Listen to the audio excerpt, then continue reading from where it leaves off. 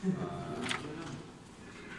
pero kung makita niyo yung buong game control natin, yung last less than one minute, may mga mistake tayo nagawa. At the same time, may top shot silang na man-made. So, ganun talaga. Ah, siguro, ah, matuto lang kami sa mga mali then Let's try to win. Jason, uh, medyo ika-ika ka. Na-injured ka ba? Anong nangyari? Ah, oh, ah, Siyempre, hindi naman nag-exist yung na-injured ka and then ka natin. So, talagang pinig ko ah, para makatulong sa team. And then, yun. Ano pa rin?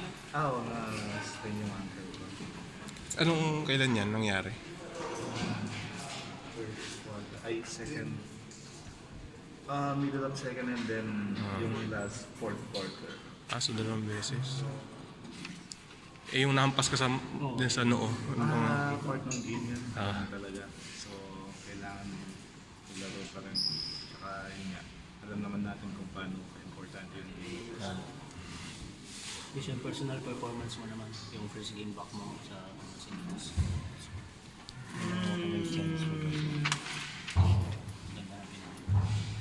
Maganda kaso talo. Sana maging okay na lang yung din nanalo, di ba? Mas, mas gusto ko pa yun. Ah, hopefully, next uh, window, mas maging maganda pa. Tsaka manalo. Ah, Jason, anong feeling na muling makapaglaro kasama yung mga me- member ng Gilas?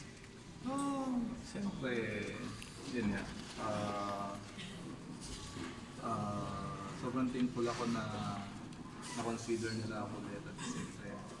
Maka-represent yung ah, country. So, hopefully next next window, mapasama ulit.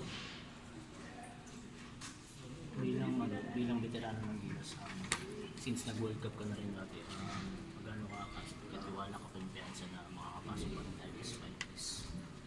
Ah, process. Confident naman ako na ah, sa last window, alam kong kaya natin manalo. Ah, kailangan lang natin na yun nga, yung mga mistake natin, makulit natin. At the same time, kailangan natin ng medyo magandang preparation, mas mahaba kasi yun yung system. Kailangan ng bagong uh, mahabang preparation para magaling yung offense at yung defense namin. Maging Jason. organized. Jason,